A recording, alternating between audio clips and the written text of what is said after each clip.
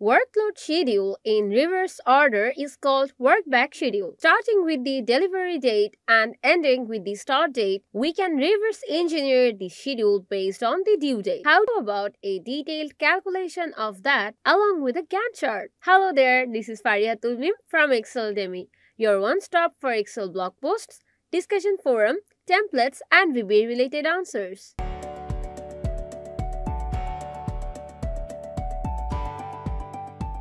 On this blank worksheet, we will learn how to create a workback schedule in Excel.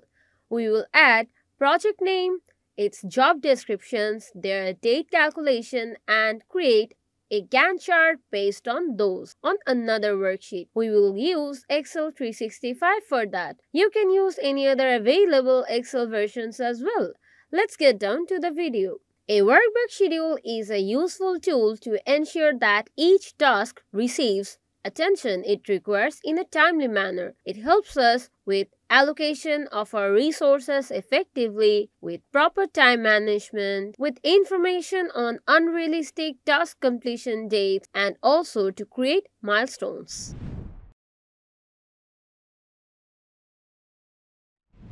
Let's create a layout first. For that, let's go to Insert tab and from the Illustrations group, click on Shapes drop-down. From the Stars and Banners section, let's choose this one and let's add it here and type Workback Schedule Summary here. Change its format like that with no outline and for the text here. Let's make it bold and size as 14 for alignment center alignment. Let's move the banner a bit above like that. Now in b4 let's type project name. To add our project name here start date end date finally duration in G4, let's type job number tab, description, duration for each job, start date, end date. Now let's insert our company logo here. From the Insert tab, go to Illustrations and click on Pictures drop-down. Choose this device. Here, choose Company Logo, Insert. Let's place it here. Now let's select B4 to E5. Press Ctrl to select G4 to K14 as well. And from the Home tab under the Font group, choose All Borders from Borders drop down. Now press Ctrl to deselect them.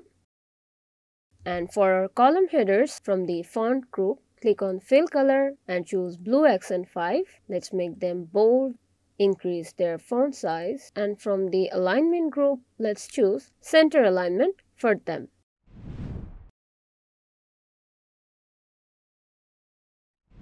Here we will add 10 jobs so we can just add the numbers using fill handle tool for our convenience. As for description and duration, we have a dummy sheet where we can copy from. Now we have copied it from the dummy sheet and pasting it here using Ctrl V. There we are. Now from the template, we can see that job and their details will be added in this portion of dataset and summary will be added within these four cells. Now, our starting date is 12 October 2023.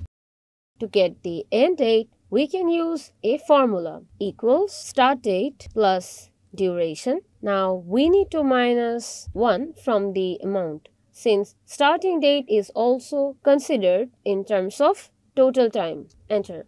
So our end date will be 13 October 2023. As for our second task, it will be started after the completion of first task. So first task plus its duration. Enter.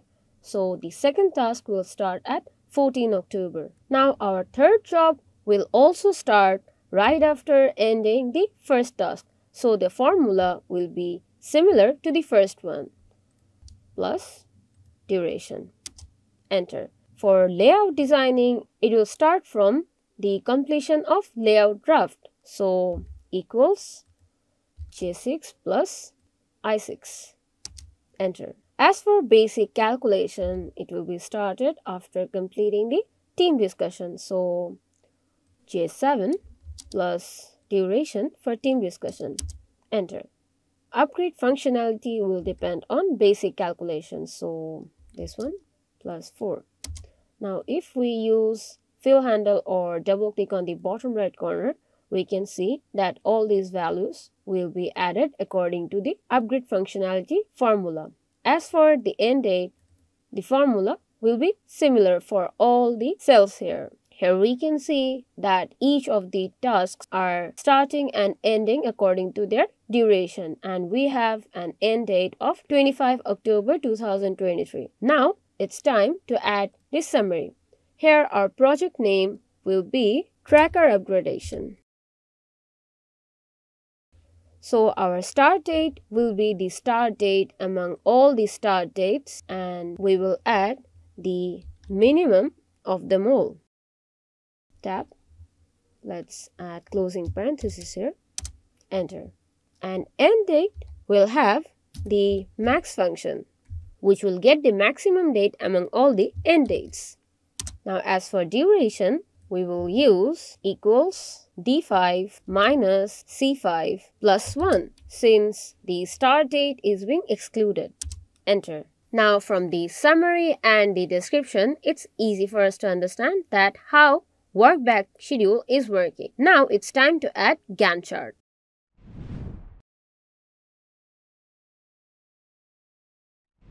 Now in a new worksheet, we have added this template so that here we can add our Gantt chart and here we will add the details information from the previous sheet. Now in B5, let's write a formula.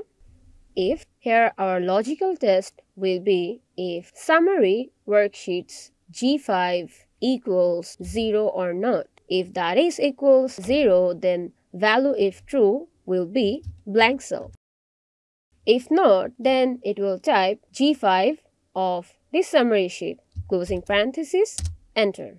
Now copy this formula till F14 in this way. As we can see, our date formats are changed. So we can just click on them and use Control 1. So we can get format cells. Here go to date category and scrolling down, let's choose this format. Now we can see the dates and understand them easily.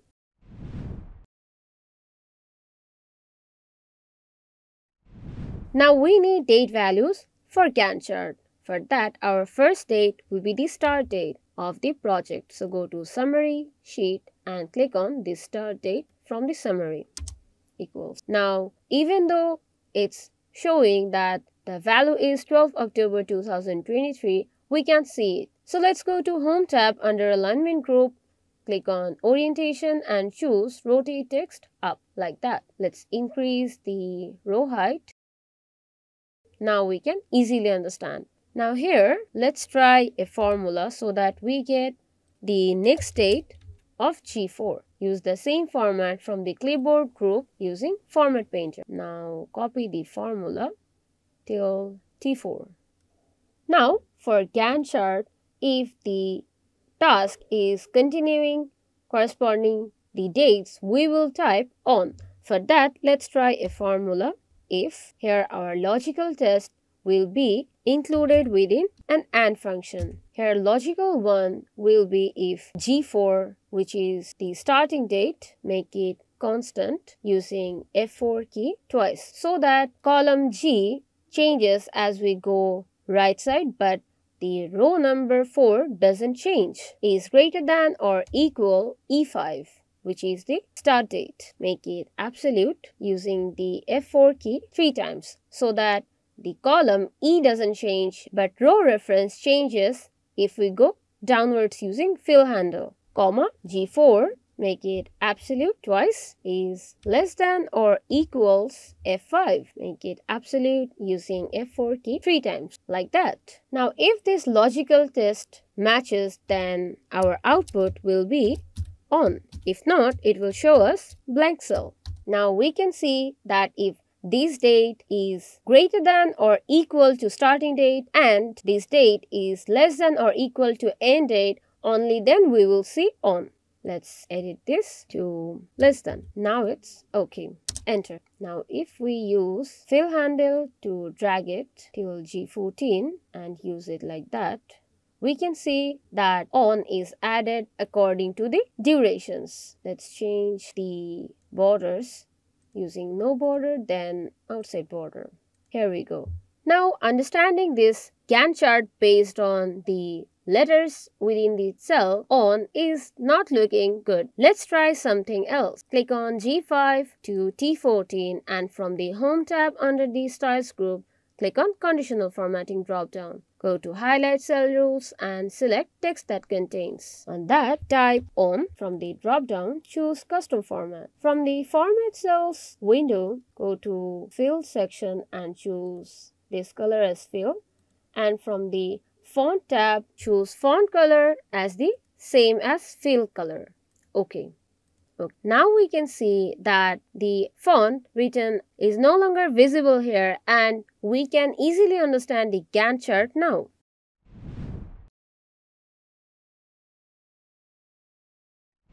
Now, if we want to verify this, if we change starting date to 20 October, we can see an entire shift in our workback schedule, also in our Gantt chart. Using these elaborate steps, you can also create a workback schedule in Excel. You can practice this with the help of the Excel file in the description box below. Let us know if you could do it in the comment section. Share your suggestions and feedback as well. You can visit our website exceldemy.com and reach out to our forum for all your VBA or Excel related problems free of cost. Stay tuned by subscribing to the channel and clicking on the bell icon. Like and share the video if it helps you. Thanks for watching.